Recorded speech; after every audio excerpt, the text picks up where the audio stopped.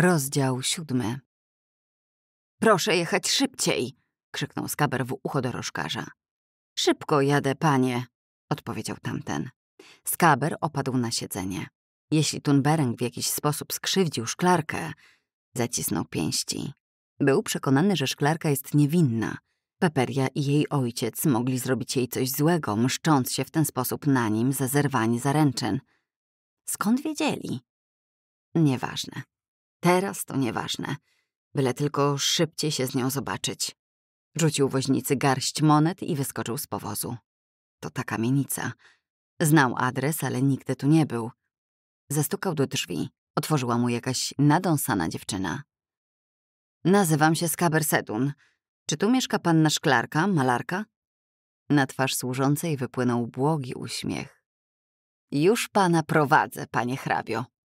Poszedł z nią na pięterko. Serce mu drgnęło, kiedy poczuł unoszący się w powietrzu lekki zapach farb i rozpuszczalników. Dziewczyna uchyliła biało malowane drzwi i zawołała dwa razy głośniej niż było trzeba. Pan hrabia Skaber Sedun.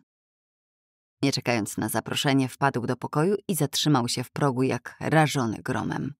To, co ujrzał, przekonało go w jednej chwili, że Peperia nie kłamała. Szklarka klęczała u stóp marszałka i trzymała go za rękę. Na jej twarzy malował się spokój i oddanie, może nawet miłość. Nie było tu mowy o żadnej przemocy. Spojrzeli na niego oboje. Skaber! Szklarka poderwała się na równe nogi. Nie zdążyła powiedzieć nic więcej, bo on już zbiegał po schodach, przeskakując po dwa stopnie. Skaber!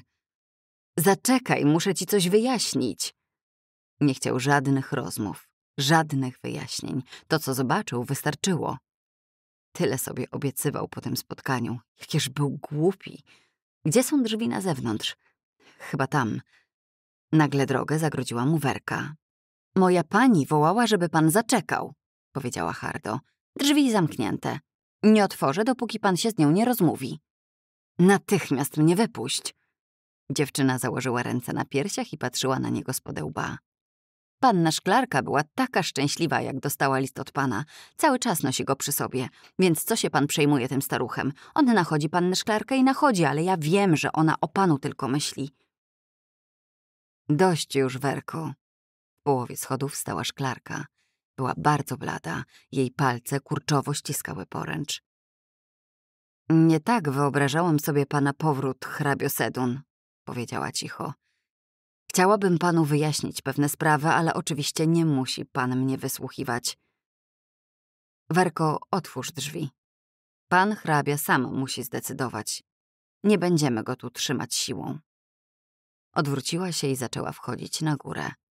Włosy upięte miała tak, jak wtedy, gdy zobaczył ją po raz pierwszy. Poczuł wręcz fizyczny ból na myśl, że w tej właśnie chwili prawdopodobnie utracił ją na zawsze. Werka przyglądała mu się wsparta pod boki. Przypomniały mu się ostatnie słowa Rosa. Cokolwiek byś zobaczył, nie odchodź bez rozmowy ze szklarką. Przełknął ślinę i zaczął wspinać się po schodach. Na jego widok marszałek ciężko wstał z fotela. Byłbyś głupcem, gdybyś nie zawrócił skaber, powiedział patrząc na niego z niechęcią. Peperia mówiła... Panie Sedun, przerwała mu szklarka. Chciałam panu przedstawić mojego ojca. Wskazała ręką marszałka, który lekko skinął głową i dodał Musimy utrzymywać ten fakt w tajemnicy, więc wszyscy, łącznie z moją córką Peperią, podejrzewają, że łączą nas więzy podejrzanej natury. Teraz zostawię was samych. Myślę, że powinien pan w spokoju wysłuchać wszystkiego, co moja córka ma panu do powiedzenia. Pocałował w czoło szklarkę i wyszedł. Stali w milczeniu naprzeciw siebie. W końcu dziewczyna odezwała się cicho. Proszę usiąść, panie Sedun.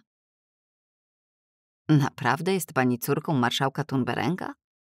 Skinęła twierdząco głową. Skaber czuł się jak głupiec. Szklarka, jego szklarka stała pod oknem milcząca i daleka.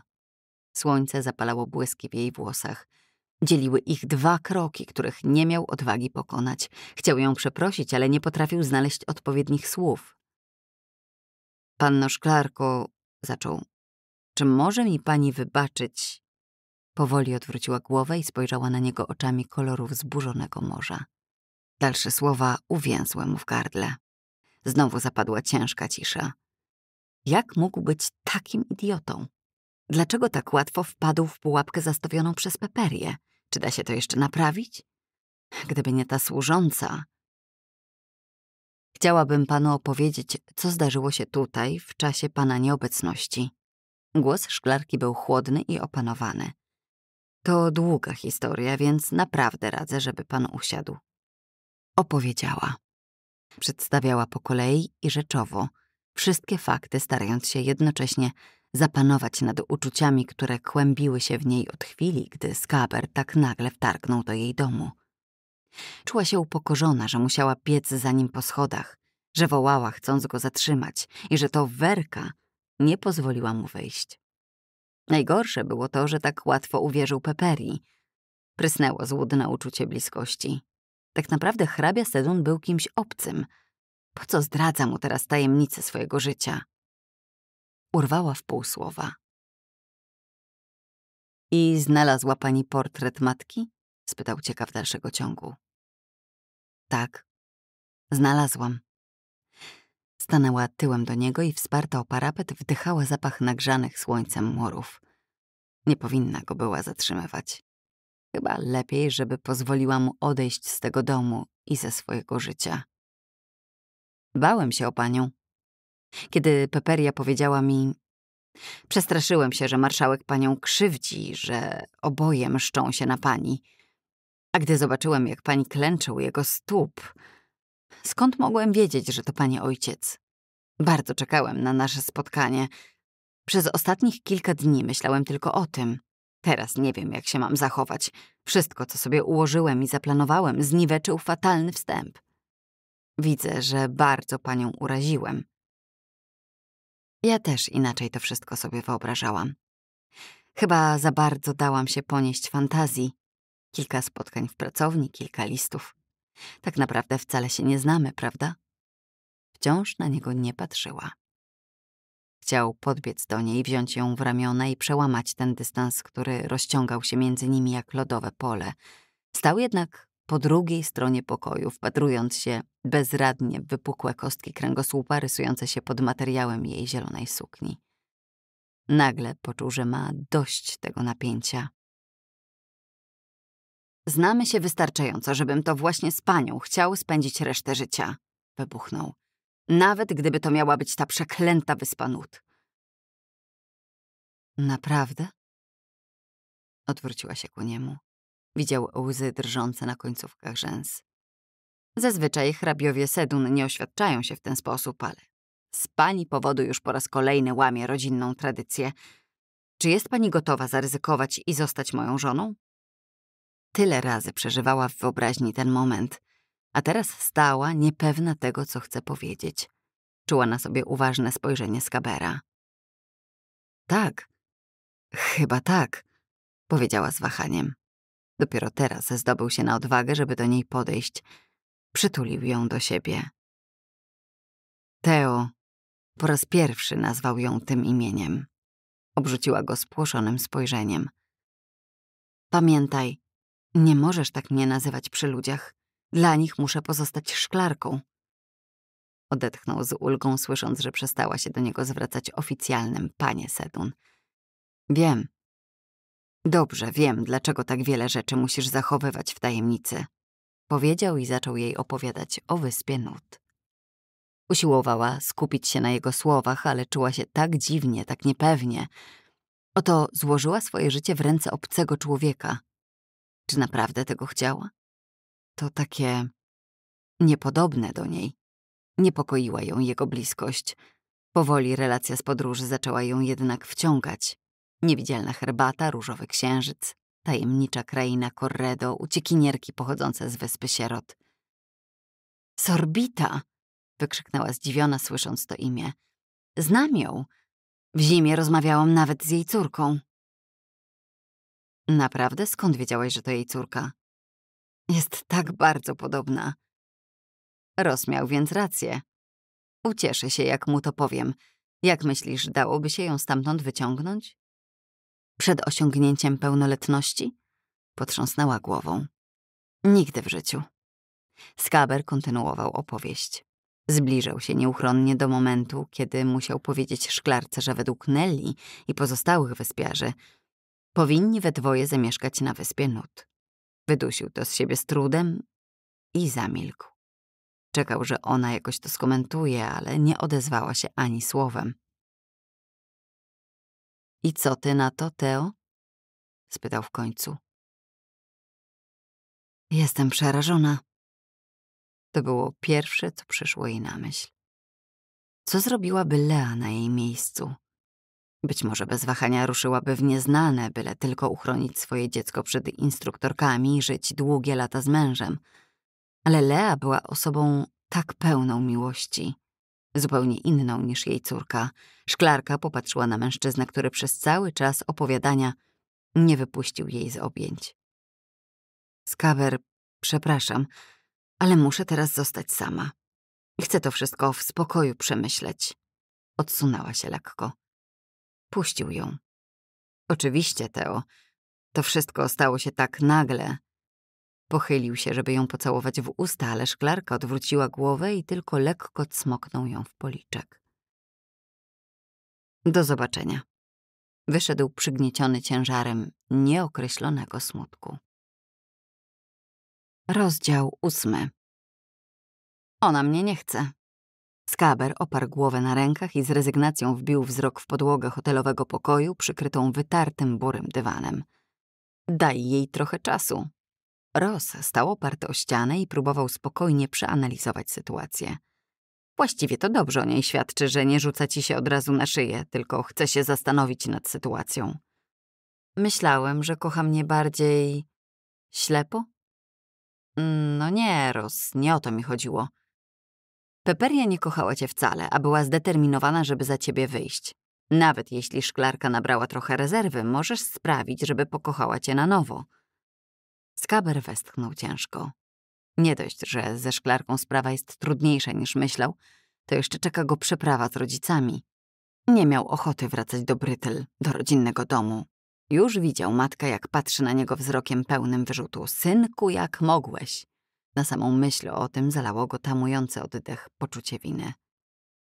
I do tego jeszcze muszę wytłumaczyć się rodzicom z całej sprawy z Peperią, powiedział na głos. A o szklarce mam milczeć, bo według Nelly tak będzie bezpieczniej. Roz przyglądał mu się spod zmrużonych powiek. Jesteś dorosły. Wiesz o tym? Skaber spojrzał na niego ze zdziwieniem. Mm, o co ci chodzi? Możesz o sobie decydować. O sobie, o swoim życiu, o tym, z kim się żenisz, a z kim nie. Czytasz w myślach jak Nella? Ross zaśmiał się, a potem spoważniał. Ja też byłem kiedyś zaręczony z odpowiednią dla mnie dziewczyną. Była słodka, ładniutka i z odpowiedniej rodziny.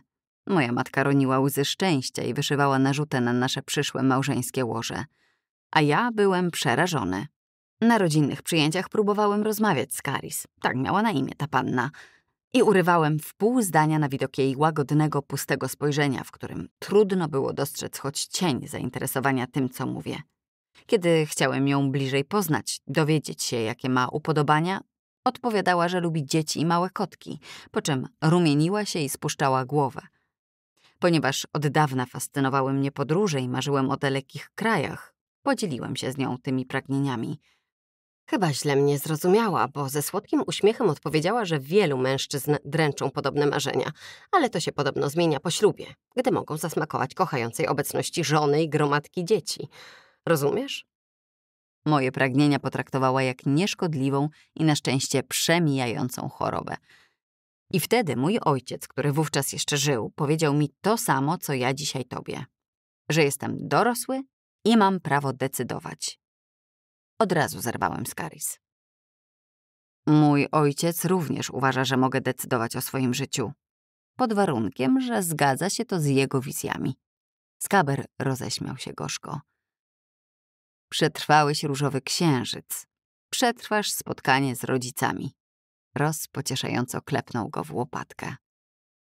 Różowy księżyc. Skaber uśmiechnął się smętnie. Skoro tak, to wynajmę na jutro powóz do Brittle. Chcę to już mieć za sobą. Rozdział dziewiąty. Po raz pierwszy w życiu zupełnie nie szło jej malowanie. Nie mogła nawet wziąć pędzla do ręki. Hrabina Serlis Huron zamówiła malowany porcelanowy serwis na prezent ślubny dla córki i teraz dwanaście delikatnych filiżanek stało rzędem na stole, a ich nieskalana biel aż kłuła w oczy. Strasznie brakowało jej hamomilli. Pomyślała o starym Ewenidzie z archiwum. Miałby nie lada problem, gdyby kazała mu przekazać Beatrycze całą litanię swoich uczuć i wątpliwości. Porozmawiać z ojcem? Lepiej nie. Marszałek wolałby zatrzymać ją przy sobie, więc będzie ją zniechęcał do małżeństwa ze Skaberem. Jak gorąco. Może przydałoby się wyjechać do Saliur nad morze? Serwis hrabiny może poczekać. Zadzwoniła na służącą. Werko, spakuj trochę niezbędnych rzeczy, ale nie za dużo. Jedziemy do Saliur. Teraz? Jęknęła rozczarowana dziewczyna. Teraz, gdy pan hrabia Sedun przyjechał i panna Szklarka nareszcie będzie... Coś mi się zdaje, że za bardzo mieszasz się do moich spraw. Szklarka zmarszczyła brwi. Nie podoba mi się to. Za dwie godziny chcę być gotowa do drogi. Rozdział dziesiąty. Powóz wjeżdżał na przedmieścia Brittle. Ostatnie chwile samotności. Ogrody podmiejskich rezydencji pełne były lekkich kwiatów. Skaber wzdrygał się lekko na widok wielobarwnych róż rozpiętych na pergolach. Znacznie bardziej wolał strzeliste ostróżki i kaskady powojników pnących się po ogrodzeniach. Zaśmiał się nagle, bo przyszło mu na myśl, że gdyby ujawnić pochodzenie szklarki, rodzice w ogóle nie musieliby mieć pretensji. Po prostu jedna Tunbern główna zostaje zastąpiona inną i wszystko pozostaje w rodzinie. Jesteśmy na miejscu, proszę łaskawego pana. Skaber zapłacił woźnicy, poczekał aż ten wyładuje kufer, po czym otworzył furtę i wszedł na teren posiadłości. Jeszcze przez chwilę chciał pozostać sam, ale odźwierny, który rezydował w stróżówce przy bramie, był czujny jak zawsze. Specjalnie nie oliwił zawiasów w furtce, żeby ich przyciągły pisk. Informował go o przybywających gościach. Młody pan hrabia, zawołał teraz z radością, wysuwając pomarszczoną twarz przez okienko. A to się wielmożni państwo ucieszą. Niechże pan zostawi ten bagaż. Derk zaraz po niego przyjdzie.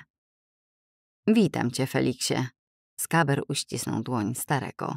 I proszę cię, nie alarmuj zaraz wszystkich. Chciałbym przez chwilę pospacerować sam po ogrodzie. Zamiast pójść prosto w kierunku domu, skręcił w cisową aleję prowadzącą do zacienionego zakątka, gdzie między kamieniami przepływał zahaczający o posesję sedunów strumyk. Skaber siadł na wilgotnym kamieniu i zanurzył palce w wodzie. Kiedy był mały, przybiegał tutaj i chował się pod paprociami. Mimo gorącego dnia powietrze było tu chłodne i rześkie. Gdyby zbudował dla siebie i szklarki dom niedaleko Rena i Irindy, upał nie byłby tak dokuczliwy. Zauważył, że jego myśli mimowolnie wybiegają ku przyszłości. A przecież Tea nie podjęła jeszcze decyzji. Przyjęła oświadczyny, ale jej tak było bardzo niepewne. Możliwe, że gdy spotkają się następnym razem, powie, że się rozmyśliła. Wszystkiemu winna jest Peperia. Wstał gwałtownie. Paradoksalnie złość dodała mu odwagi. Ruszył w stronę domu. Po drodze skrzywił się, mijając ulubioną różaną altankę matki. Słodki aromat niósł ze sobą wspomnienie wyspy nut. Panicz Skaber wrzasnęła jak oblana ukropem pokojówka Marisa, na którą się natknął, gdy tylko przekroczył próg. Zrobiło się zamieszanie. Przez hol przebiegały służące, żeby choć tylko zerknąć na niego ukradkiem. Ktoś pobiegł zawiadomić wielmożnych państwa.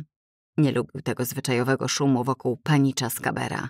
Poczuł znajomy impuls, żeby natychmiast skryć się w swoim pokoju na piętrze i odgrodzić książkami od reszty świata.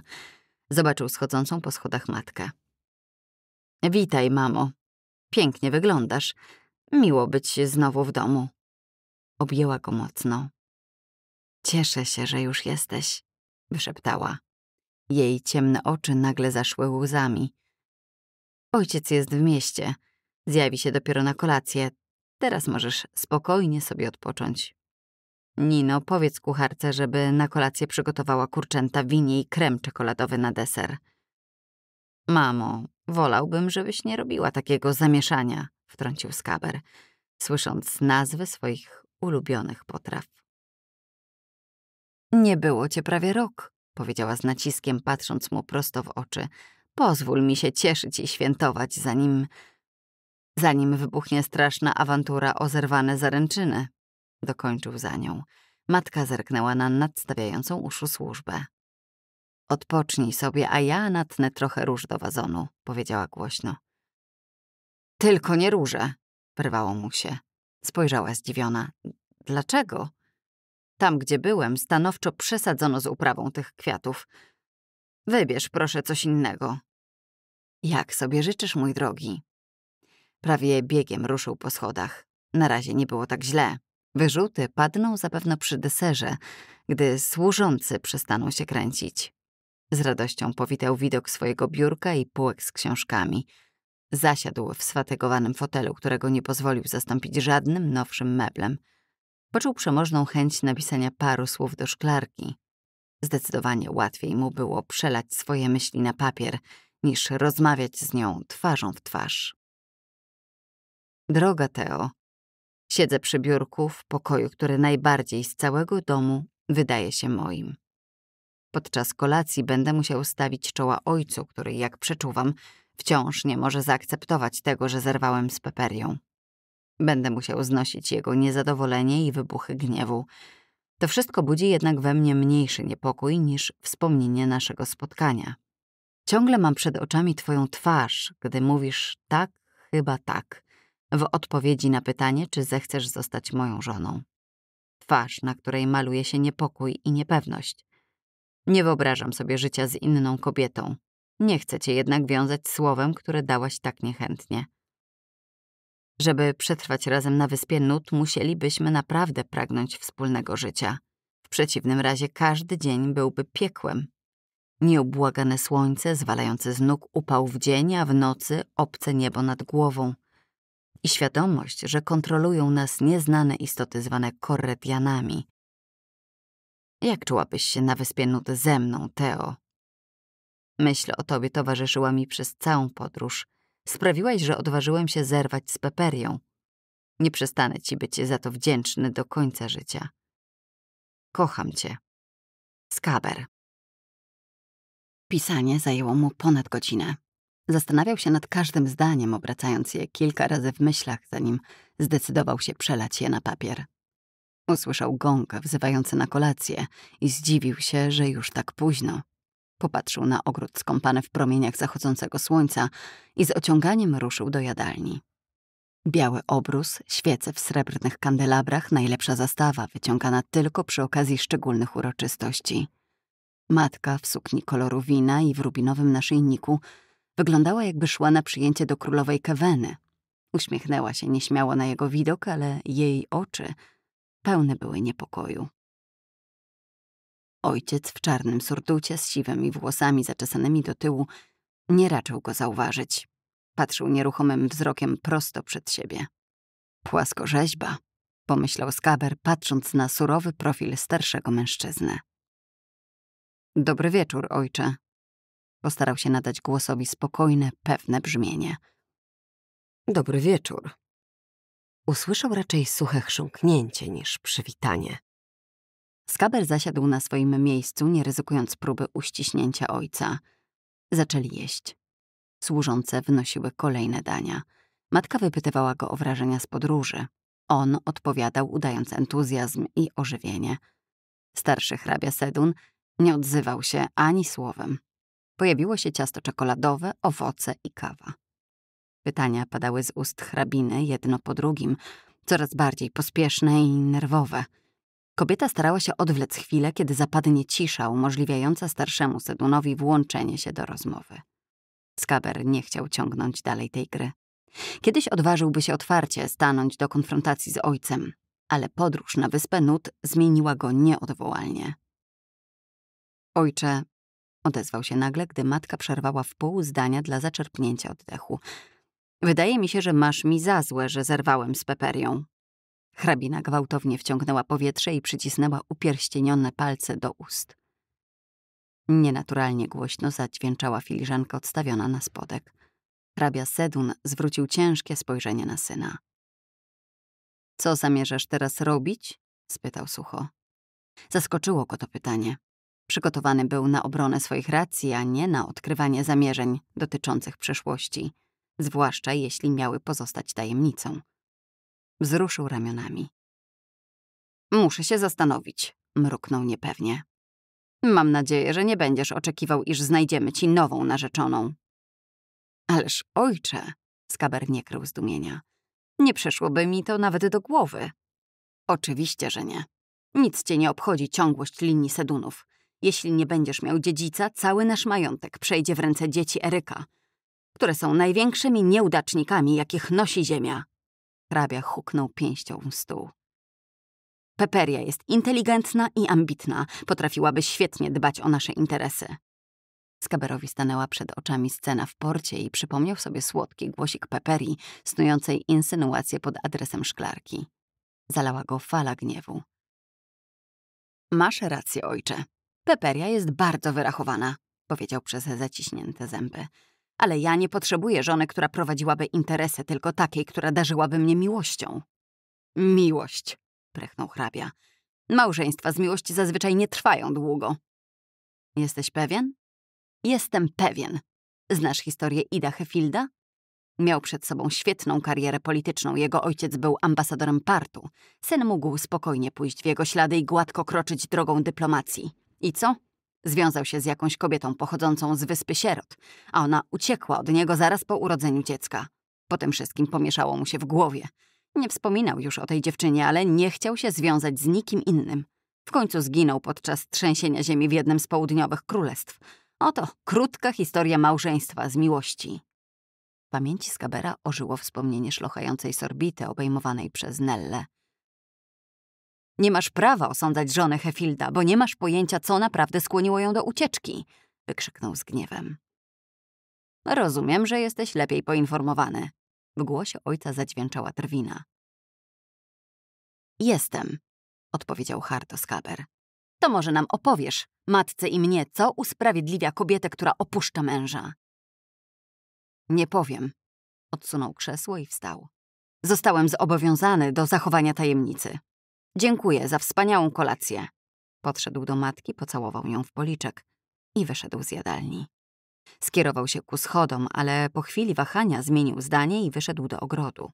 Chciał ochłonąć po rozmowie, która przybrała tak nieoczekiwany obrót. Dręczyło go pytanie, które zadał mu ojciec. Co zamierzasz teraz robić? Drążył po mrocznym ogrodzie, zastanawiając się nad odpowiedzią. Może do czasu, aż szklarka podejmie decyzję przenieść się do Versatis, żeby być z dala od ojca. A jeśli ona nie zechce za niego wyjść? Taką ewentualność trudno mu było wziąć pod uwagę. Siadł na trawie, opierając plecy o pień sosny. Teo, wyszeptał w ciemność. Rozdział jedenasty. Fale wybiegają do przodu i cofają się z sykiem, zostawiając na piasku lśniące jak klejnoty drobne kamyczki. Woda jest ciepła i miękka w dotyku. Szklarka zdjęła buty i pozwoliła morzu obmywać sobie stopy. Skraj letniej liliowej sukni nasiągł wodą, ale to nie ma znaczenia. Jest tak gorąco, że materiał zaraz wyschnie. To była dobra decyzja. Przyjechać tutaj i odpocząć od wszystkiego. Usiadła na płaskim głazie i zapatrzyła się w wyrazistą kreskę horyzontu. Wiatr od morza spieniał grzywy fali i wyszarpywał jej włosy z ciasno upiętego węzła.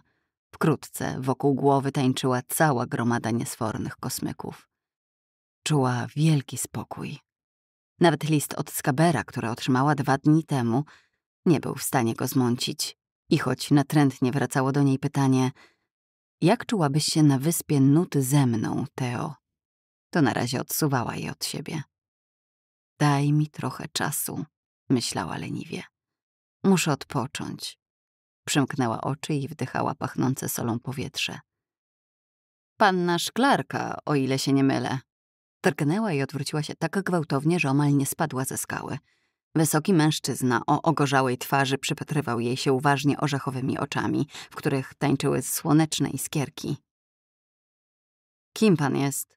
Spytała niezbyt przyjaźnie. Ross Clyde. Myślę, że moje nazwisko powinno coś pani mówić. Skaber opowiadał o panu. Podróżował pan z nim. Zgadza się. Przysiadł niedbale na krawędzi głazu. Chciałbym z panią chwilę porozmawiać. Czy można? Proszę bardzo. Przyglądała mu się ciekawie. To tego właśnie mężczyznę Skaber darzy największym zaufaniem. Cóż, Clyde budzi zaufanie. Wiem, że Skaber opowiadał pani o Sorbicie. Mówił mi, że poznała pani jej córeczkę. Czy jest pani pewna, że... Ottina jest dzieckiem Sorbity, przerwała mu szklarka. Ma pan na to moje słowo. Chcę ją wydostać z wyspy sierot i zawieźć do matki. Clyde pochylił się ku niej i zajrzał jej w oczy. Jak mógłbym to zrobić? Poruszyła się tak gwałtownie, że koronka, którą obszyty był dół sukni, zahaczyła o krawędź skały i oderwała się od materiału. Niech pan się nawet nie waży. To po prostu niemożliwe. Musi pan czekać, aż Ottina skończy 18 lat i rozpocznie samodzielne życie. Nie chce się poddawać bez podjęcia próby. Bez pozwolenia instruktorek nie zdoła pan postawić stopy na wyspie. Mógłbym wziąć łódź i nocą podpłynąć do wysp od drugiej strony, z dala od portu, naciskał Ross. Proszę mi tylko wskazać miejsce, gdzie mógłbym przybić do brzegu. Szklarka wzruszyła ramionami. Wszędzie są strome klify. Nawet tam, gdzie znajdują się jakieś skrawki plaży, morze najeżone jest skałami. Jest pani pewna? Chodziłam często na długie spacery wzdłuż wybrzeża. Nie przypominam sobie ani jednego miejsca, gdzie łódź mogłaby bezpiecznie przybić. Ross na chwilę zaprzestał zadawania pytań. Zapatrzył się w morze, marszcząc brwi. Była przekonana, że usilnie szuka innego pomysłu. A gdybym zatrudnił się na promie kursującym na wyspę? Nic z tego. Ani Dwerda osobiście zajmuje się zatrudnianiem nowych pracowników. Oczywiście wie pan, kim jest Ani Dwerda. Chętnie bym jej skręcił kark, uśmiechnął się krzywo. Mimo wszystko podejmę próbę wdarcia się na wyspę. Nie wierzę, że jest tak niedostępna. Czy jest tam ktoś zaufany, do kogo mógłbym się zwrócić o pomoc? Zawahała się. Czy mogła mu powiedzieć o Hamomilli? Czy nie narazi jej tym samym na niebezpieczeństwo? Nie, żeby ten Clyde miał jej zaszkodzić celowo, ale wystarczy, że instruktorki sięgną do jego myśli. Nie mogę panu powiedzieć, rzekła stanowczo. To zbyt niebezpieczne dla niej, dla tej osoby. W ten sposób zmniejsza pani szanse na to, żeby stało się nieszczęście. Zeskoczyła z głazu wprost w przybrzeżne fale. Cały dół sukni znowu był mokry. Może jest pan wielkim podróżnikiem, ale w ciągu całego swojego życia nie zetknął się pan z instruktorkami. Będą czytać w pana myślach, znajdą tam Ottinę, Sorbitę, mnie i Skabera. Wtedy możemy już na zawsze pożegnać się z podróżą na wyspę Nut. Więc jednak zamierza pani płynąć. Jego twarz wyrażała pogodne zaciekawienie. Och! Szklarka stropiła się nagle i odwróciła głowę w kierunku morza. To ważne, żeby podjęła pani decyzję w ciągu najbliższych dwóch tygodni. Ross chwycił ją za ramiona i obrócił twarzą do siebie. Jest to najlepszy czas na wypłynięcie. Potem nadchodzi pora letnich sztormów i podróż trzeba będzie odłożyć na kilka miesięcy. Szarpnęła się do tyłu. Przecież dopiero co przypłynęliście. Wargi jej zadrżały i miała wrażenie, że za chwilę się rozpłacze. Nie chciała już teraz zastanawiać się nad przyszłością. Rozumiem, że trudno się pani zdecydować. Rozpatrzył na nią łagodnie. Nasze spotkanie ze Skaberem Spuściła głowę, żeby nie widział łez, które nagle napłynęły jej do oczu. Nie było dokładnie takie, jak sobie pani wymarzyła. Wiem. On panu mówił? Tak. Był przygnębiony i pełen poczucia winy. Twierdził, że go pani nie chce. Rozpatrzył z uwagą na pochyloną głowę szklarki. Zauważył kropelkę, która spadła naprzód bladoliliowej sukni i wsiąkła w materiał, pozostawiając wilgotny, owalny ślad. Pani płacze? Nie dziwię się. To trudna decyzja. No właśnie, wyszeptała ledwo słyszalnie. A pan jeszcze mówi, żeby szybko. Podniosła na niego zamglone łzami oczy. Ja po prostu nie wiem. Nie znamy się ze Skaberem tak dobrze, żebym mogła bez wahania jechać z nim na jakąś odciętą od świata wyspę. Ross westchnął. A ja zdecydowałem się zamieszkać na wyspie Nut po jednej zaledwie rozmowie z Sorbitą. Była to co prawda długa rozmowa. Roześmiał się. Trwała cały dzień i nie potrafię już sobie wyobrazić życia bez tej kobiety. A pani? Czy jest pani w stanie zaakceptować powrót do samotnego życia wypełnionego wykonywaniem kolejnych zleceń i płaceniem podatków instruktorkom? Przewiercał ją spojrzeniem. Szklarka schyliła się i podniosła leżące w piasku buty. Panie Clyde? Tak. Myślę, że ma pan rację. Powinnam zaryzykować. Potrzebuję jednak jeszcze trochę czasu. Dzień? Dwa. Dobrze. Zacznę się już rozglądać za odpowiednim statkiem. Nawet jeśli pani odpowiedź będzie odmowna, ja i botanik i tak wracamy na wyspę. A skaber? Roze wzruszył ramionami. Może popłynie z nami, żeby o pani zapomnieć. Szklarka wzdrygnęła się. Dwa dni. Wyciągnęła z hebanowej kasetki wszystkie listy matki i czytała je jeden po drugim, szukając jakiejś wskazówki albo podpowiedzi. Werka patrzyła na nią z mieszaniną troski i niezadowolenia. Panna Szklarka miała odpoczywać, a zamiast tego znowu się czymś martwi. Nie przeszkadzaj mi, Werko. Idź lepiej na targ i kup świeżego melona. O tej porze na targ? Na targ chodzi się rano. Jest strasznie gorąco i mam ochotę na melona. Może jeszcze nie wszystkie zostały sprzedane. Werka westchnęła. Zarzuciła koszyk na ramię i ruszyła w kierunku miasteczka, słusznie podejrzewając, że panna szklarka po prostu chciała się jej pozbyć. Lea nie żałowała, że poślubiła Jonana. W jednym z listów napisała, że gdyby miała podjąć decyzję raz jeszcze, postąpiłaby tak samo. Skaber. Skaber. Czy mogę ci zaufać? Ja nie wiem, jak to jest być z kimś na zawsze. Może jednak poradzić się ojca. Kiedy Werka wróciła z jednym, niezbyt urodziwym melonem, została obarczona następnym zadaniem. Miała znaleźć gońca, który szybko dostarczy list marszałkowi Thunbergowi. Po co znowu zadaje się pani z tym starym? Pan hrabia Sedun to jest odpowiedni mężczyzna dla pani. Werko, jeśli jeszcze raz wyrazisz się źle o marszałku, poszukam sobie nowej służącej. Szklarka z trudem zapanowała nad gniewem, który nagle ją ogarnął. Przeciw komu był skierowany? Przeciwko wścibskiej werce, przeciw Klajtowi czy przeciw Skaberowi? Może dotyczył ich wszystkich. A właśnie, werka. Co z nią? Zwolnić w momencie wyjazdu, sprzedać mieszkanie i dom nad morzem? A może zostawić wszystko pod opieką służącej w nadziei, że kiedyś tu powróci? Machinalnie pakowała listy Lei do szkatułki i sama sobie z tego nie do końca zdając sprawę, układała w myślach listę rzeczy, które powinna zabrać ze sobą na wyspę Nut. Rozdział dwunasty. Cóż ci mogę powiedzieć, Teo? Marszałek obserwował zwrócony w kierunku morza profil córki. Sama musisz podjąć decyzję. Jeśli kochasz Skabera, to płyń. Szklarka przeniosła na niego udręczone spojrzenie. Właśnie tego nie wiem. Myśl o rozstaniu z tobą prawdopodobnie na całe życie jest dla mnie trudna do zniesienia. Z drugiej zaś strony, gdybyś miała zaznać życia w radości, jakiej pozbawiona była Lea, gdybyś mogła jak w bajce żyć długo i szczęśliwie. Lea cię kochała, prawda? Marszałek westchnął, a potem się uśmiechnął. Mam wrażenie, że z początku była to z jej strony raczej odpowiedź na moją miłość. Spontaniczne i gorętsze uczucia pojawiły się później. Odpowiedź na twoją miłość, powtórzyła szklarka z nutą rozczarowania w głosie. Instruktorki nie uczyły was, jak kochać. Uczyły raczej, jak żyć bez miłości. Dlatego to jest dla ciebie takie trudne. Skinęła w milczeniu głową. Marszałek rozejrzał się, czy nie ma w pobliżu werki i mocno przytulił córkę. Mam nadzieję, że tamtej parze powiodą się próby z herbatą szczęścia i spotkamy się znowu, Teo. Będę za tobą tęsknić, tato. Wiem. Ja też.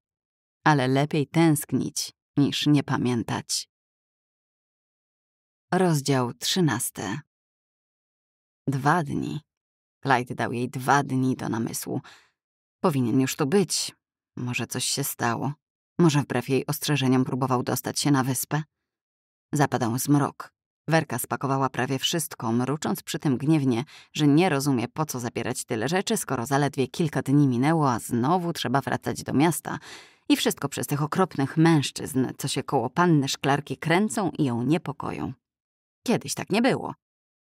Panna szklarka malowała piękne rzeczy dla księżnych i dla samej królowej i żyła sobie w spokoju. Szklarka słuchała tego potoku żalów jednym uchem. Siedziała przy oknie i patrzyła, jak gwiazdy rozbłyskują jedna po drugiej na granatowym niebie. Czas spać. Jutro już będą w domu. Może tam czeka na nią wiadomość od Klajta albo od Skabera. Obudziła ją poranna krzątanina służącej, szczęk naczyń i zapach kawy. Zamówiłaś już jaja, żeby przed południem zabrał nas stąd razem z bagażami? spytała podnosząc się z pościeli. Werka zerknęła na ścienny zegar ozdobiony różowymi muszelkami. Przyjdzie za jakieś dwie godziny. To dobrze. Szklarka przyciągnęła się. Będę miała czas pożegnać się z morzem. Najpierw może panna szklarka coś zje, burknęła służąca, ustawiając na obrusie w błękitno-białą kratę filiżankę z kawą i talerz z rogalikami. Werko, za kilka tygodni wyjeżdżam. Na bardzo długo. Dziewczyna znieruchomiała w pół gestu. Tak, proszę pani? wyszeptała. Być może, ciągnęła z wahaniem szklarka, nie będzie mnie kilka lat. O, a co ze mną? Chciałabym, żebyś opiekowała się mieszkaniem. Ustalę z moim bankierem, by wypłacał ci comiesięczną pensję, a jeśli znajdziesz sobie jakiegoś narzeczonego i będziecie chcieli założyć rodzinę, to po prostu zamknij wszystko na cztery spusty i zostaw. Panno Szklarko, wyjąkała Werka przez łzy. Czy to dlatego, że rozgniewałam panią wczoraj? Ależ nie. Szklarka pogłaskała dziewczynę po wilgotnym policzku. Po prostu muszę wyruszyć daleko z hrabią Sedunem, jeśli to cię choć trochę pocieszy. A nie mogłabym pojechać z panią. Przecież pani będzie potrzebowała służącej. Werka miała rację. Trudno będzie się jej obejść bez dziewczyny do pomocy. Kto będzie gotował i sprzątał w nowym domu na Wyspie Nut? Ale przecież nie może skazać Werki na życie w krainie, z której nie ma powrotu. Nie może przywiązać jej do siebie na całe życie. Pokręciła przecząco głową. Nie, Werko. Lepiej będzie, jak zostaniesz tutaj. Dziewczyna ocierała oczy kraciastą chustką, ale łzy płynęły po jej twarzy nieprzerwanym strumieniem. Przecież ja oprócz pani nie mam nikogo. Pani sierota i ja sierota. To myślałam, że ja już będę z panią na zawsze. Werko, a nie chciałabyś mieć własnej rodziny? Męża, dzieci? Jesteś miła, ładna i dobra. Jestem przekonana, że wielu mężczyzn marzy o takiej żonie. Na to Werka wybuchnęła jeszcze większym płaczem. Ale on nawet na mnie nie spojrzy. Szklarka zamrugała oczami zdezorientowana. Kto? Ro... Obi. Robi? Nasz Robi? Werka przytaknęła, zanurzając znowu twarz w chustkę. Jak on do pani przychodził, to ja przecież dopiero zaczynałam służbę. I jak pani pracowała u siebie, to ja siadałam z Robim i oglądałam jego rysunki. A on był taki miły i pytał, co o nich myślę i jedliśmy ciasto. I chociaż byliśmy wtedy jeszcze dzieciakami, to sobie myślałam, że Robi będzie kiedyś moim mężem. Potem on zaczął pracować dla króla i już go pani nie uczyła, więc ja trochę tęskniłam, a trochę myślałam, że to taka dziecinna miłość. Ale jak rok temu zjawił się u pani tak niespodziewanie, to myślałam, że serce mi wyskoczy z piersi. A potem pomyślałam sobie, jaka ja jestem głupia, bo przecież on jest królewskim rysownikiem, a ja służącą. To gdzie mi tam do niego? Więc niech mi pani nie mówi o mężach i rodzinach. Wyrzucone niemal jednym tchem wyznanie uspokoiło Werkę. Przestała szlochać, zdecydowanym ruchem wetknęła chustkę do kieszeni fartucha i zaczęła sprzątać ze stołu. Możesz przecież zapraszać go na herbatę i ciasto. Pogodnym głosem szklarka wróciła do tematu. Zapraszać? Do pani domu? Skorszyła się dziewczyna. To także twój dom. Sama mówiłaś. Ja sierota, ty sierota. Ale to nie wypada. Och, Werko. Robi spędza całe dnie wśród papierów i zasuszonych staruszków, popijając obrzydliwą kawę. Jest ostatnią osobą, która zaproszona na pogawędkę okraszoną ciastem i uśmiechem miłej dziewczyny zastanawiałaby się, czy to wypada. Naprawdę tak pani myśli? Werka rozjaśniła się. Naprawdę. Szklarka wyszła przed dom. Pomyślała, że to śmieszne żegnać się z morzem, skoro za parę tygodni będzie go miała w nadmiarze. Ale to nic. To tutaj. To było jej morze, jej towarzysz samotnych rozmyślań. Teo obejrzała się. Przy południowej ścianie domu, oparte o nagrzane drewniane bale, siedział skaber. Na jego twarzy malowało się znużenie. Miał zapadnięte policzki i cienie pod oczami. Usiadła obok niego. Przez chwilę nic nie mówili. Skrzeczące mewy nurkowały, wyławiając z morza jakieś resztki. Nie jesteś u rodziców? Zagadnęła szklarka lekkim tonem. Już nie. Bardzo mieli ci za złe zerwanie zaręczyn? Teo wyprostował się gwałtownie i chwycił ją za ramiona. Nie chcę teraz rozmawiać o moich rodzicach. Przyjechałem, żeby cię spytać. Tak, pojadę z tobą. Nie patrzyła na niego, tylko na przylewające się w oddali fale. To znaczy, że jednak chcesz zostać moją żoną? Proszę, spójrz na mnie. Pogłaskał ją po policzku, a potem delikatnie obrócił jej twarz tak, że ich spojrzenia się spotkały. Ja nie wiem, czy potrafię cię kochać. Ojciec powiedział, że Lea, to znaczy moja matka, nie od razu darzyła go miłością. To przyszło później. Myślę, że ze mną może być podobnie. Wierzchem dłoni otarł łzę, która nieoczekiwanie zaczęła staczać się po jej policzku. Nie jestem pewna, czy możesz coś takiego zaakceptować. Oczywiście, że mogę, powiedział łagodnie i scałował kolejne dwie łzy wymykające się spod jej rzęs. Od strony miasteczka zbliżał się z klekotem wóz starego jaja, ciągnięty przez zmęczonego upałem karego konika. Nasz powóz zajechał, powiedziała patrząc w pełne ciepła brązowe oczy swojego przyszłego męża. Część czwarta. Rozdział pierwszy. Zbliżający się ląd był spowity mgłą. Słoneczne promienie odbite od grzbietów fale raziły oczy. Upał. Jeszcze dzień, a znajdą się na tyle blisko brzegów wyspy Nud, że jej mieszkańcy zobaczą łopoczący na wietrze złocisty proporzec, który Nella wręczyła Skaberowi na pożegnanie. Szklarka wpatrywała się w błękitnawe zarysy wzgórz widoczne na horyzoncie. Mimo gorąca czuła raz po raz przebiegające jej po plecach dreszcze. Czy to był strach? Bardzo prawdopodobne. Może bała się zmian. Dobrze jej było na statku i dobrze jej było ze skaberem. Zadomowiła się w ciasnej kajucie. Rozkoszowała się niezależnością od instruktorek. Wcześniej nie zdawała sobie sprawy, że pozornie wolna cały czas była z nimi związana. Może sprawiały to odprowadzane na rzecz wyspy sierot podatki. Mimo, że wszelkimi przelewami zajmował się jej bankier, to zawsze otrzymując wynagrodzenie odruchowo obliczała, jaka część sumy należy się instruktorkom.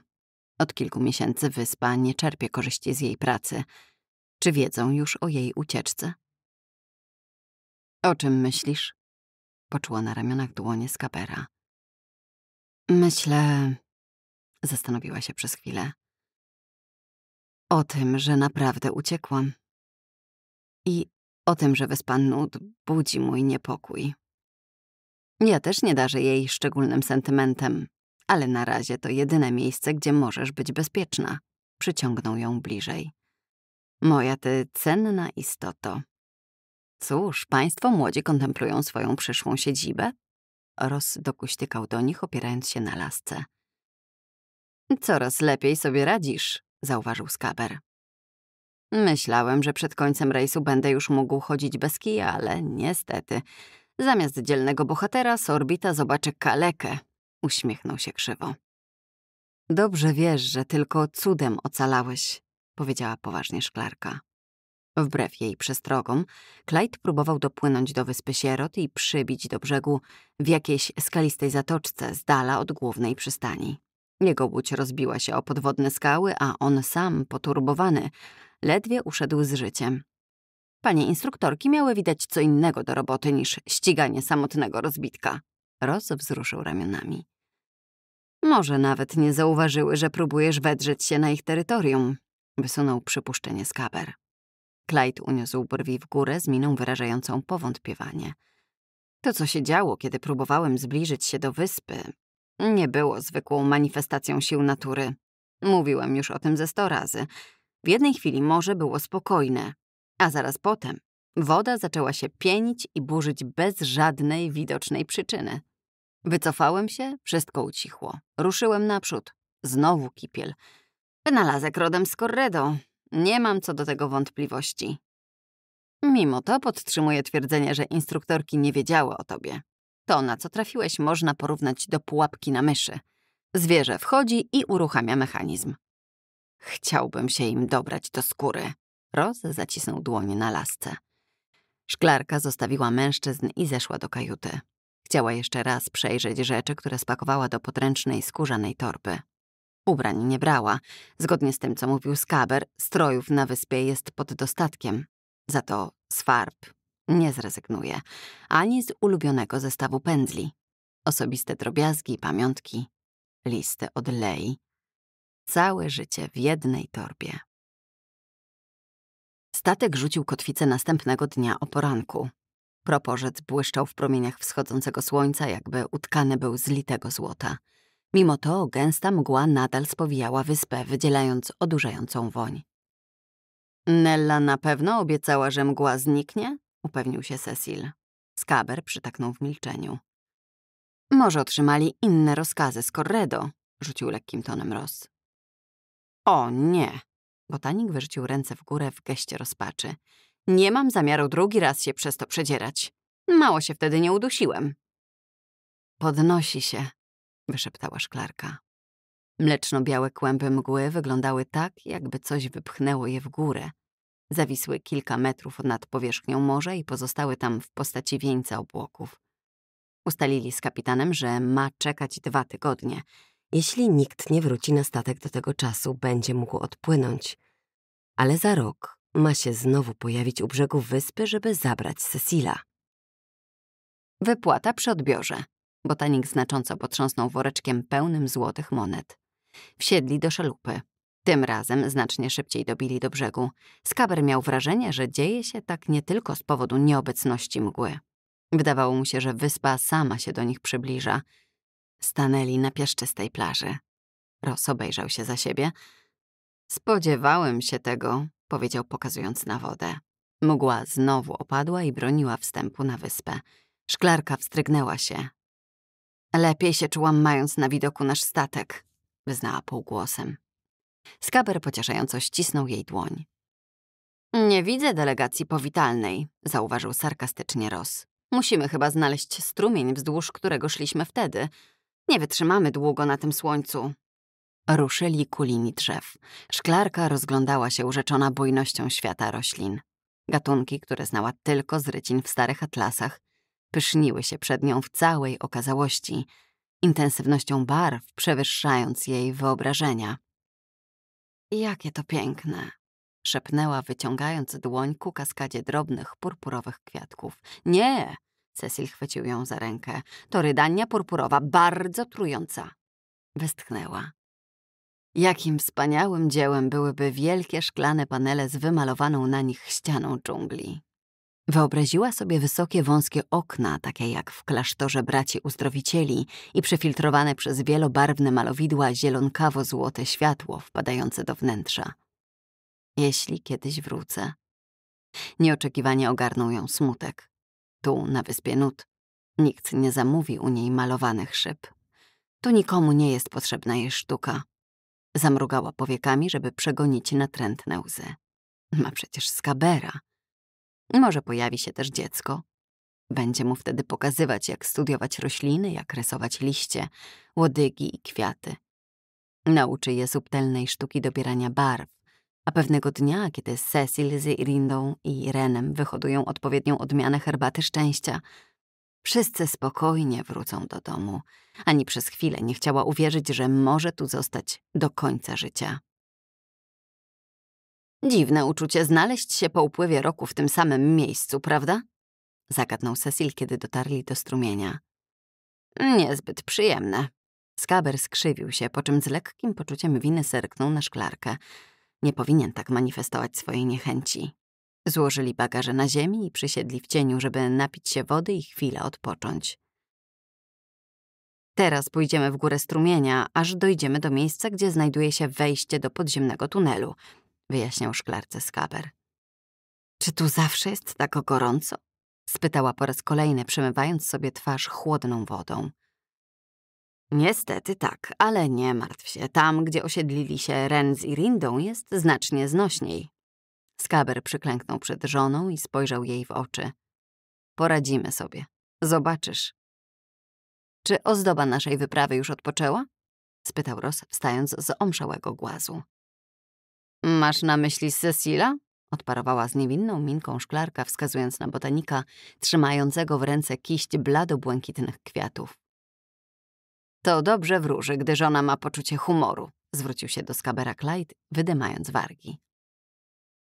Wędrówka wzdłuż strumienia była uciążliwa i szklarka żałowała, że nie ma na sobie męskiego ubrania, zwłaszcza solidniejszych butów. Jej pantofelki, najwygodniejsze jakie miała, nie nadawały się do brodzenia po wodzie i stąpania po śliskich, porośniętych glonami kamieniach.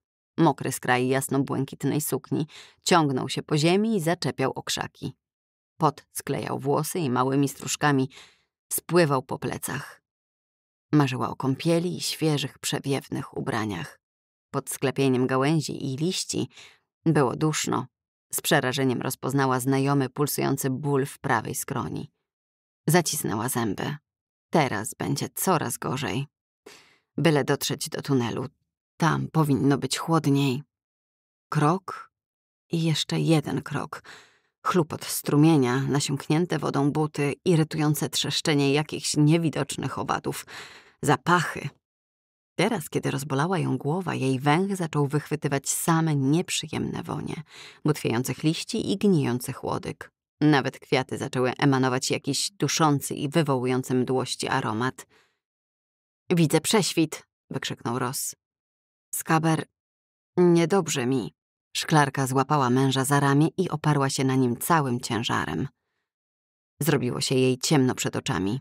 Czuła, że ktoś bierze ją na ręce. Nie miała siły unieść powiek. Wydawało się jej, że kładą ją na ziemi, słyszała strzępy rozmów, ale nie potrafiła rozróżnić słów. Ból przetaczał się po jej głowie tętniącymi falami. Z trudem oddychała wilgotnym, gorącym powietrzem. Walczyła z mdłościami. Pod powiekami wirowały jej czerwone koła. Ta wyspa mnie zabija, pomyślała. Znowu kłucia w oczach, zsynchronizowane z rytmem serca. Znienacka spłynęła na nią delikatnie pachnąca wilgotna mgiełka. Jak pryśnięcie perfum. Bolesne pulsowanie ustało tak nagle, że aż mimowolnie krzyknęła ze zdziwienia. Otworzyła oczy. Zobaczyła nad sobą bardzo ładną, uśmiechniętą twarz okoloną kasztanowymi lokami. Dzień dobry. Jestem Irinda. Witaj na wyspie Nut, szklarko.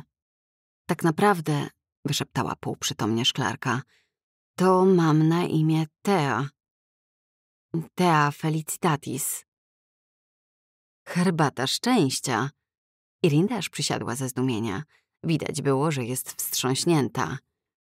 Tea nie wiedziała, dlaczego bez wahania ujawniła swoje imię tej kobiecie. Nie zdradziła go dotychczas nikomu poza ojcem i skaberem. Nawet dla Rosa i Cecila była nadal szklarką.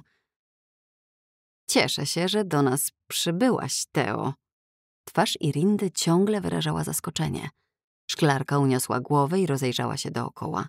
Znajdowali się na polanie pośród rozrzuconych bezładnie kamiennych budowli. W jednej z nich ział duży otwór. Było to zapewne wejście do tunelu. Skaber i Cecil rozmawiali z jakimś mężczyzną ubranym w pracowicie wyhaftowaną koszulę, a Ross Ross tulił do siebie ciemnowłosą piękność, która bez wątpienia była sorbitą. Nieco dalej, przypatrując się wszystkim z dystansu, stała starsza kobieta w zielonej sukni wyszywanej w blado-różowe lilie. Jej wzrok spoczął na szklarce. Nie zdradzaj Nelly swojego prawdziwego imienia, nakazała szeptem Irinda. Dlaczego? Irinda nie zdążyła odpowiedzieć, bo staruszka już była przy nich. Dobrze się czujesz, szklarko? spytała. Myślę, że tak. Piękną masz suknię, Nello. Stara kobieta roześmiała się. Dziewczyna z Wyspy Sierot zawsze rozpozna mistrzowską rękę. Piękna robota, prawda? Ale to nie moje dzieło. Wyhaftowała ją Sara. Już jej nie spotkasz. Nie żyje od dwudziestu lat. Szklarka uważnie przypatrywała się Nelly. Życzliwie uśmiechnięta twarz, pogodne niebieskie oczy otoczone promykami zmarszczek. Irinda z jakiegoś powodu jej nie ufała. Skaber także nie wypowiadał się na temat staruszki zbyt pochlebnie. Staruszki? Nella miała pomarszczoną twarz i siwe włosy, ale sposób, w jaki się poruszała, przeczył jej wiekowi. Ile mogła mieć lat? Siedemdziesiąt? Pomyślała o długowieczności instruktorek, o ich nieprzemijającej młodości. Ale Nella nie była instruktorką. Miała zmarszczki, a jej wzrok nie miał w sobie nic z niebezpiecznego zimnego spojrzenia ani dwerty. Czy dasz radę iść? spytała Irinda. Tak. Nie wiem, czego użyłaś, żeby usunąć ból głowy, ale czuję się cudownie. To olejek z płatków róży lamparciej, poinformowała Nella. Irinda wyspecjalizowała się w przyrządzaniu z tutejszych roślin niezwykle skutecznych leków. Wasz botanik mógłby się od niej sporo nauczyć. Szklarka wstała i razem z dwiema kobietami podeszła do wrót tunelu. Skaber ucieszył się bardzo na jej widok. Widzę, że postawiły cię na nogi. Jak się czujesz, te... Szklarka czuje się świetnie, wpadła mu w słowo Irinda. Możemy ruszać w drogę. To nie będzie trwało długo, dodała Nella. Poprowadzimy was znacznie krótszą drogą i nie będziemy musieli przechodzić przez Dolinę Żaru. W którym miejscu wyjdziemy? zainteresował się Ross. W pobliżu znanego już panom pałacu, oczywiście. Nella uśmiechnęła się figlarnie. Skaber zrobił zbolałą minę. Nie ma co się krzywić, panie hrabio. Szklarka musi odpocząć. Jutro będziecie mieli dość czasu, żeby wybrać sobie dom. I właściwie, skoro będzie pan jednym z mieszkańców wyspy, proponuję, żebyśmy mówili sobie po imieniu. Nie zaproponowała tego pozostałym. Ross skwitował to złośliwym uśmieszkiem skierowanym w stronę Cecila. Sorbita otworzyła usta, żeby coś powiedzieć, ale Clyde uspokajającym gestem położył jej rękę na ramieniu i szepnął coś do ucha. Szli, przyświecając sobie naftowymi lampami. Nella prowadziła. Ross z Sorbitą postępowali tuż za nią, a pozostali trzymali się w większej odległości. Ren i Irinda dyskutowali o czymś zawzięcie z Cecilem, ale dudnienie kroków w korytarzu zagłuszało ich słowa. Szklarka wspięła się na palce i szepnęła Skaberowi do ucha. Irinda powiedziała, żebym nie zdradzała swojego imienia Nelly. Wyjaśniła dlaczego? Nie zdążyła. Skaber objął ją ramieniem i przytulił. Martwiłem się o ciebie. Wyglądałaś na krańcowo wyczerpaną. Irinda powiedziała, że się tobą zajmie i kazała mi odejść. Nie posłuchałbym, gdyby to była Nella. Nie rozumiem tych waszych podejrzeń. Szklarka westchnęła. Do tunelu wdarł się nagle snop słonecznego światła. Silny zapach róż wypełnił wnętrze podziemnego korytarza. Jesteśmy u celu, ogłosiła Nella. Mężczyźni wybrzydzali na ten pałac, ty jednak, Szklarko, z pewnością docenisz jego piękno i wygodę. Przede wszystkim zachwyciły ją róże, kwitnące tu w wielkiej masie i obfitości. Tak olbrzymiego rozarium nie widziała nigdy w życiu. Gdyby nie przygniatający upał, chętnie spędziłaby tu kilka godzin ze szkicownikiem i ołówkiem. Pałac natomiast nie wzbudził w niej entuzjazmu. Wydawał się zimny i bezosobowy. Budowla doskonała pod względem architektonicznym, ale pozbawiona życia. Rozejrzała się po cienistym patio. Gdzie tu można wziąć kąpiel? Chciała się jak najszybciej pozbyć przepoconego ubrania i odświeżyć w chłodnej wodzie. My... myliśmy się w fontannie. Skaber speszony spojrzał na Rosa i Cecila. Nella parsknęła krótkim śmieszkiem. Panowie nie potrzebowali łazienek, ale to nie znaczy, że ich nie ma. Chodź, pokażę ci. Poprowadziła szklarkę wąskimi schodami wiodącymi do podziemi. Był tam szereg pokoików, przez które dwoma marmurowymi korytami przepływała ciepła i zimna woda. Światło wpadało tu przez okrągłe świetliki umieszczone pod sufitem. Ciepła woda płynie bezpośrednio z gorących źródeł, powiedziała z dumą Nella. W szafie pod ścianą znajdziesz ręczniki i czyste ubrania. Życzę miłej kąpieli. Nella wyszła, zasuwając za sobą harmonijkowe drzwi złożone z wąziutkich drewnianych listewek. Szklarka zdjęła ubranie i weszła do ciepłego strumienia. Marmur lśnił łagodnym, mlecznym blaskiem. Co za ulga móc tak leżeć bez ruchu i pozwalać się obmywać ciepłym falom. Szklarka zanurzyła się po szyję i przymknęła oczy. Jej myśli powędrowały ku Nelli. Ta kobieta była chyba tutaj szczęśliwa. Z taką dumą pokazywała pałac i podziemne łazienki. Irinda i Ren chcieli uciec z wyspy. Sorbita także. O pozostałych nie wiedziała nic, ale bardzo prawdopodobne, że w nich również tliła się iskierka nadziei na porzucenie tego miejsca. Być może tylko dla Nelly stało się ono prawdziwym domem. I dlatego mogły ją niepokoić prace nad herbatą szczęścia. Obecność obcych mężczyzn, którzy przypływają na wyspę, a potem odpływają, nie będąc skazanymi na pozostanie, na pewno wytrącała ją z równowagi. Szklarka wynurzyła się z wody i sięgnęła po pachnące mydło leżące w owalnej miseczce z jadeitu. Zmyła z siebie cały pot i kurz. Pieniste mydliny spływały do niewidocznych podziemnych kanałów. Wydawało jej się, że wraz z nimi odpływa całe jej dotychczasowe życie. Ociekając wodą, wyszła na marmurową posadzkę i otworzyła ażurowe, rzeźbione w morskie stwory, drzwi szafy. Otuliła się białym ręcznikiem. Skąd mają takie puszyste, cudownie miękkie tkaniny?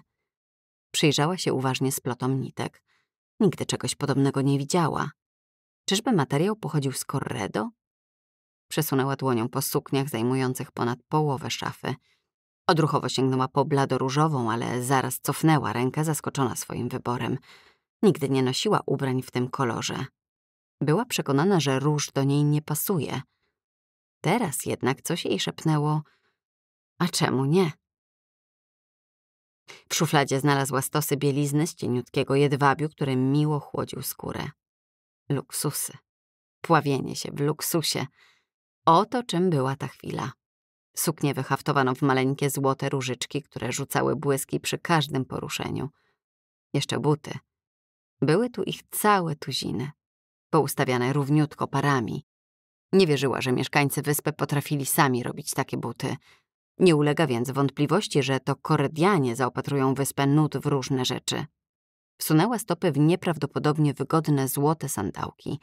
Na marmurowym blacie, będącym czymś w rodzaju toaletki, znalazła duży zestaw grzebieni i szczotek do włosów. Jeszcze i to. Dlaczego?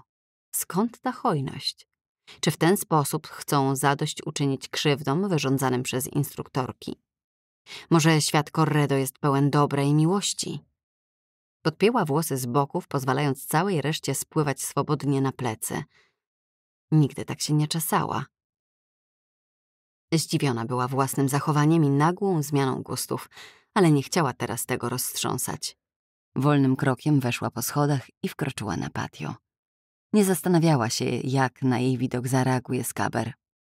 O pozostałych mężczyznach nie myślała w ogóle – nie przypuszczała, że nagle przerwą rozmowę i będą na nią patrzeć w taki sposób, jakby ujrzeli jakieś zdumiewające zjawisko.